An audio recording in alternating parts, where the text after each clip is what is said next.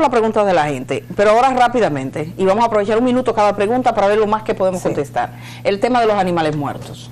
Eh, perfecto. Bueno, con relación a los cadáveres, deben de ser enterrados en fosas con aproximadamente dos metros de profundidad, que en el fondo se coloque cal, luego se colocan los animales que han fallecido o han sido sacrificados, nuevamente una capa de cal y entonces tierra. Esto es para evitar la contaminación en el medio ambiente que puede originar el virus, que es bastante resistente a las condiciones medioambientales y que si no se hiciera de esta forma, entonces van a, va a favorecer a que continúe la propagación. Y por eso, además de disponer adecuadamente de los cadáveres, también hay que realizar limpieza y desinfección profunda y correcta. Pregunta Ángel Cabrera, ¿cómo, en qué forma llega esta enfermedad de tan lejos? ¿Cómo fue que llegó? ¿Cómo pudo haber llegado? Bueno, qué bueno eh, para retomarlo en ese sentido. La enfermedad todavía no tenemos claro como, como país cómo llegó ahora en este, en este momento. Hay varias hipótesis que se manejan, pero todavía no hay información concluyente. Entendemos que dentro de las eh, que pudiéramos mencionar está el hecho de productos cárnicos que se trajeran de forma ilegal, eh, a través de contrabando, desde países donde existe la enfermedad desde el 2018.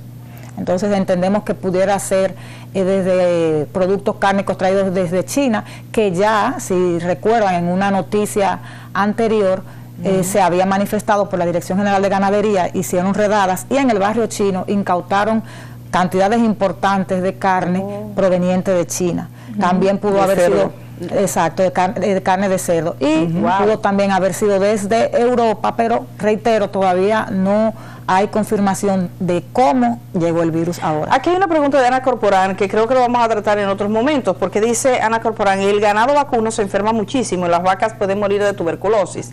Sabemos que la, aquí hay tuberculosis en ciertas eh, comunidades. Doctora, me dicen que usted está haciendo una investigación precisamente sobre el ganado. ¿Verdad? Correcto, sí. Entonces vamos a hacer otro programa con la doctora para hablar entonces de, vamos a hablar de la vaca, porque hoy estamos en los cerdos. Vamos, vamos, a hacer un programa para que hablemos de la vaca, de la carne de vaca y demás. Mientras tanto, yo, yo sí le preguntaba a la doctora, ¿usted se come esa carne de tres cuartos? Si le dicen una carne local, usted no la comería tres cuartos. O, de que eh, término medio. No, realmente... Eh, algo que nos caracteriza a los dominicanos desde el punto de vista cultural es eh, la suficiente cocción de los alimentos y lo correcto es que se siga haciendo así. Tenemos problemas de varias enfermedades causadas por bacterias, en este caso tanto la tuberculosis bovina como la brucelosis bovina son causadas por bacterias. Entonces, para poder evitar que estas dosis son zoonóticas, como decía la doctora Medina al inicio, o sea, enfermedades que son transmisibles desde los animales al ser humano. Sin, eh, puede darse la, la enfermedad por contacto directo con animales enfermos o por el consumo de carne o derivados de la leche. Eso sí pasa con la tuberculosis. Eso, sí pasa con la tuberculosis. Y por eso es importante, pero afortunadamente la gente nuestra cocina muy bien la carne. La carne, eh, la carne en sentido general, pero la carne de cerdo eh, siempre ha tenido fama de que hay que cocinarla bien. Doctora, eh, ¿por qué tenemos que cocinar siempre? No importa que haya peste o no haya peste, la carne de cerdo. Es que imagina, hay muchas, hay otras enfermedades que también se, se pueden transmitir, por ejemplo la triquinela, eh, la cisticercosis, y entonces aquí hay punto foco de contaminación, por ejemplo, en San Juan, en un momento dado había muchos casos de cisticercosis y son patologías, enfermedades que creen algunos ¿Cómo tumores. Es enfermedad? Eh, son tenias. Ah, tenias. Tenias, tenias. Y, entonces, cercosis también en la zona de San Juan. ¿Usted lo, ha encontrado? Sí, sí. Aquí hay muchos eh, pacientes, personas positivas a, ah. esa enfermedad. Y entonces, ¿qué es lo que pasa con nuestro país? Aquí hay reglas, pero no se cumplen. Reglas no se cumplen. Por ejemplo, para establecer una piara de cerdo, que es la crianza de cerdo, para establecer una posilga, usted tiene que tener mínimo un espacio de 3 kilómetros. Ahora cada quien, yo voy a acercar aquí, hago una posilga y, y crío cerdo y ya.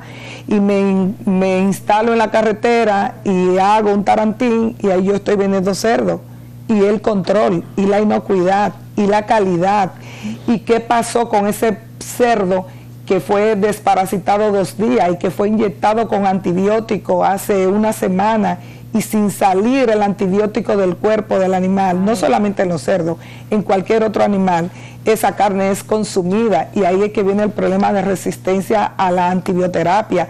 Ya cuando tú necesitas ese antibiótico, tu cuerpo lo ha recibido y esas bacterias ya están haciendo resistencia. Entonces, es un problema de que las leyes están ahí están ahí, pero tenemos que comenzar a cambiar educación y a darle facilidades a la gente también para que tenga eh, ese sustento, ese medio de vida, pues también ellos puedan sobrevivir ante estas calamidades que se van a presentar. Siempre va a ser necesario cocer bien nuestras carnes. Eh, hay, hay gente que está diciendo, por ejemplo, dice que no tiene duda de que podría aparecer un desaprensivo, que se le muera un cerdo, que se le ponga la barriga roja, las orejas rojas y, se, y tenga la duda, dice, y se murió el cerdo. ¿Sabe que es la fiebre porcina? Y dice, porque, porque voy a perderla. Y la vuelva a tasajo y salga a vender carne. Sí. Eh, se supone que no es lo mismo comer una carne de un cerdo que ha muerto por la enfermedad que un cerdo que sea sacrificado. La que están diciendo las autoridades no tengan problemas, vamos a sacrificar cerdos, están sanos por el riesgo, pero se pueden consumir. Ahora, una vez enfermo ese animal que ha fallecido, ha muerto, se supone que esa carne no se come. Mm, no debería eh, consumirse, pero en caso de que ocurriera, no le va a pasar nada a la persona que la consuma. La, canal, ¿verdad? Estamos hablando de la masa muscular, del músculo. Eh, las vísceras eh, tampoco deberían de consumirse, aparte que por el aspecto que van a tener, porque como es una enfermedad hemorrágica. Ah, por las vísceras se nota. Sí, se nota. O sea, cuando ah. un animal muere por esta enfermedad, al hacer la necropsia, en este caso ya para eh, los estudios patológicos y los estudios en sentido general, toma de muestra, etcétera, habrán unas lesiones características. Así como la doctora Medina mencionaba los signos clínicos, que son los que podemos observar con nuestros sentidos en los animales enfermos, en una necropsia que se le haga a un animal, habrán unas lesiones que son características de la enfermedad y que nos van a indicar que ese animal murió de una patología. Por lo tanto, no debería de consumirse ni las vísceras ni la canal. Pero si ocurriera, así como usted dice, que aparezca una persona que no quiera perder ese animal o esos animales que murieron de la peste porcina africana y eh, se consumen esa, esa carne, no les pasaría nada, no habría Entonces, cero tripita de cerdo en estos días, eso sí que no. Cero tripita, sí, claro, eh, la tripita, la cocina, Así es. mejor cero, la carne, la masa, la cosa está bien, la cocina y evitemos las vísceras. Pero déjame decirte algo, agregar algo a eso. Eh, la, la, carne está contaminada, yo la cocino en mi casa, yo me la como, no hay problema, pero entonces yo recojo el resto de la mesa, todo lo que quedó en el plato, sobre todo pedacitos de carne, y entonces ah, es costumbre de tener en una lata todos esos desperdicios, entonces yo se lo llevo a los cerdos del vecino o hay una persona que anda de casa en casa recogiendo esos desperdicios y ahí va la contaminación. Quiere decir que, por ejemplo, el cerdo, un cerdo sano, si yo le diera la carne de un cerdo enfermo cocinada, el virus no muere en la cocción. Bueno, si, si hay una cocción adecuada en temperatura y tiempo, sí, pero si la cocción no es adecuada, entonces sí puede sobrevivir el virus. Puede sobrevivir el virus y entonces contaminar incluso. Por eso no se debe bajo ningún concepto. En el 78 eh, está totalmente documentado el virus de la peste porcina africana y de la peste porcina clásica, o sea, ambas enfermedades llegaron a través de carne que eh, había sido consumida en vuelos provenientes de España, donde existía la enfermedad, carnes ahumadas, jamones, etcétera, y esos desperdicios los eh, porcicultores iban al aeropuerto a retirarlos, esa, esa, basura de los aviones, y con eso alimentaban a sus cerdos. Y así es que llega en el 78 la, la, enfermedad a nuestro país, a través de esos desperdicios que eh, sirvieron para alimentar cerdos en nuestro país que estaban sanos y el virus estaba en esos desechos, en esas carnes, en esos jamones, y así se presenta la enfermedad. Eh, bueno, yo quiero rápidamente, usted como decana de, esta facultad, que es importante o vital sería en este momento, porque el mundo de la academia veo que en todos los países le toman en cuenta, ¿le invitaron a la comisión a ustedes? No, no. ¿No son parte? No han hablado con ustedes? No, no hemos sido invitados, a pesar de que la señora rectora ya envió una comunicación al ministro poniendo a disposición los recursos humanos que tenemos, técnicos, profesionales. Ah, deberían tenemos estudiantes también de, a partir del cuarto, quinto semestre que también pueden estar a la disposición. Laboratorios de biología molecular también están, estamos a la disposición. Y, y sobre todo en los laboratorios quiero enfatizar de que es necesario de que se fortalezcan los laboratorios, el Laboratorio Veterinario Central, la BCEN debe ser fortalecido con programas de con programas de capacitación para sus técnicos. Aquí no tenemos patólogo, tenemos años diciendo eso, años, años, no tenemos patólogo, habían tres, cuatro patólogos, se murieron dos de ellas y apenas hay dos o tres patólogos en nuestro país es, es un clamor, es, un, es el momento se ahora. Los patólogos? los patólogos se forman en las academias, en las escuelas de medicina veterinaria. Eh, pero tiene que ser ya con programas de maestrías y con programas de doctorado. Y entonces, como ahora hay que aprender, y como siempre es así, hay que aprender con el currículum por competencias, entonces se requieren de laboratorios a nivel de la academia, igualmente para hacer esos doctorados, pero para eso se necesitan recursos muchos recursos para, para los laboratorios, recursos para la, en la unidad de sanidad animal, el la dirección de sanidad animal necesita, ¿por qué? Porque la, la parte cuarentenaria, las acciones que hay que tomar en cuenta, la bioseguridad, que son las medidas preventivas, hay que tomarla antes de que llegue la enfermedad. Entonces ahí hay deficiencias. Sería bueno eh, que, se destine recursos. Bueno, yo, eh, otro día vamos a conversar sobre las condiciones de la carrera, porque yo creo que es importante en este país planificar los recursos humanos que necesitamos. Hay mucha gente estudiando la misma cosa y hay eh, áreas de la sociedad que podríamos encontrar muchachas y muchachos interesados, brillantes, de comunidades nuestras, para que eh, gente interesada, por ejemplo, en ese tema, que sean de un campo, que tengan interés. Entonces, bueno, vamos a, vamos a trabajar en ese sentido y a destinar recursos. Pero sí ahí está la oferta para la Comisión de y para el Ministerio de Agricultura, que creo que hay que tomar en cuenta siempre en todos los países cuando estas cosas pasan, la voz de la academia es relevante. ¿Alguien le dice a ustedes sobre las aves pican, arrastran alimentos? Eh, no sé si las aves, yo había leído que los roedores, eh, los ratones y demás son vehículos de transmisión de la enfermedad. Claro, claro que sí, que es un vehículo de transmisión. ¿Las aves podrían ser también parte? Sí, de ahí la importancia de que los cordones sanitarios se realicen de forma efectiva.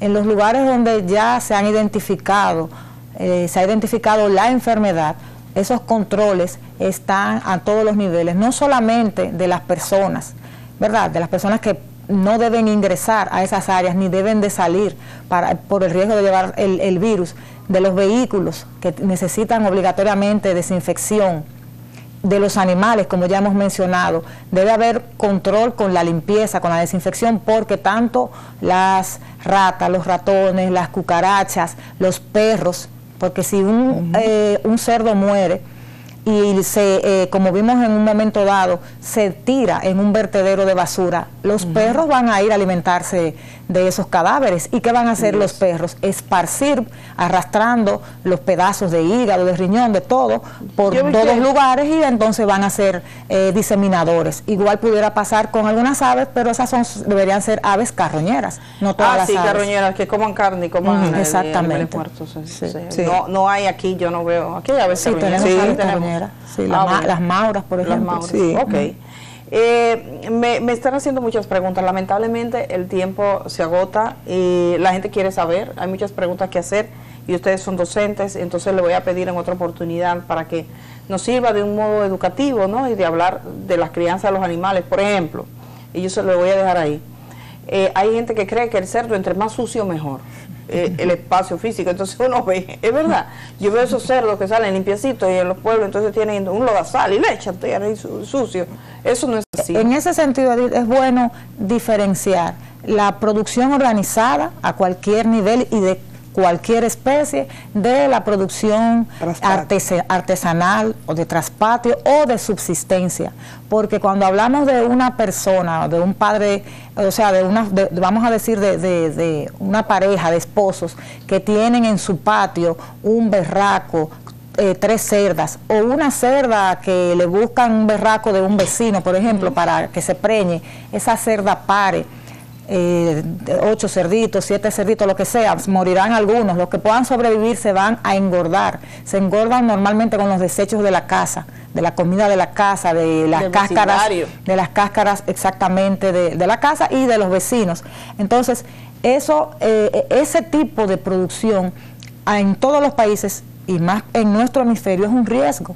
Es un riesgo porque no hay controles sanitarios, no, se vacunan normalmente esos animales, no se desparasitan, ah. no hay niveles de higiene en los animales. No es cierto que un animal debe de estar sumergido en un lodazal para que sepa para que sepa bien o para que esté saludable. Sin embargo, en una granja tenemos unos controles diferentes porque hay una infraestructura física, hay un programa de, un programa sanitario que se lleva a todos los niveles. Hay también un programa nutricional. Los animales se alimentan con alimentos eh, eh, diseñados específicamente para eh, cada etapa de la vida de los animales. O sea, hay una diferencia entre la producción de, de, sobrevivencia a la producción organizada. Y en este momento debemos resaltar que realmente la enfermedad no ha sido identificada, gracias a Dios, en eh, los productores grandes. Doctora, lamentablemente tenemos que terminar. Vamos a ir a una pausa porque me deben cinco minutos. La doctora Raiza Reyes, docente investigadora de la Universidad Autónoma de Santo Domingo, la doctora Ramona Isa Medina de la Facultad de Ciencias Agronómicas y Veterinarias de la misma universidad de la cual es decana. Vamos a seguir hablando, quedamos con esa cita. Le voy a avisar a la gente, hay mucha gente con interés. Hacemos el cambio, regresamos de una vez.